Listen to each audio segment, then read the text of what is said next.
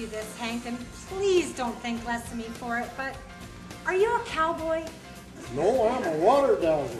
A water dowser? Yep. You're kidding. Really? Oh, how wonderful, my very first water dowser.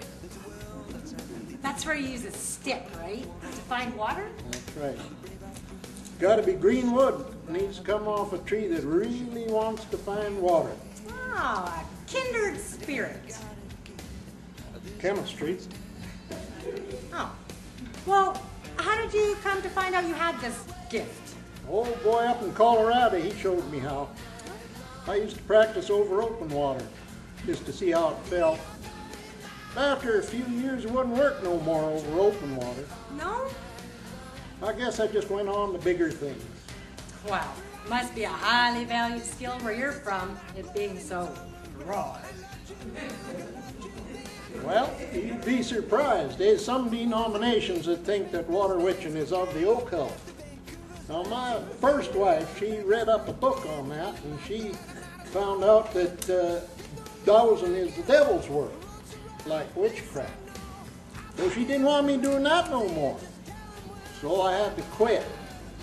Howsomever, I took it up again after a couple of years, and sure enough, she throwed my old saddle out on the doorstep and she bid me farewell. She said I was insensitive. Well, did you marry again? Yeah, I'm married right now. World champion fisherwoman. Oh. Yeah, she's got a gift just like mine. Yeah, I can find water, she can find the fish. She's got her rod and I got mine. Oh, well, you know, there was a woman who got on my plane on her way to a fishing tournament in Elephant Butte. Is that right? Yeah, she got on in Atlanta. She, she wanted to read my tea leaves from my tea bag. Said there was romance in the names. She happened to be wearing sunglasses even when she was indoors. Yeah, she was. She happened to say anything about her husband? Mm, no, not that I recall. She tell you anything about her boyfriend? No, but I did see somebody pick her up at the airport. He was wearing his pajamas.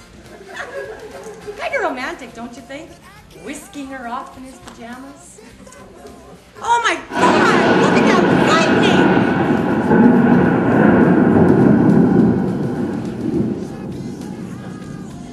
Yep, I'm a family man, all right. And I am a sensitive man.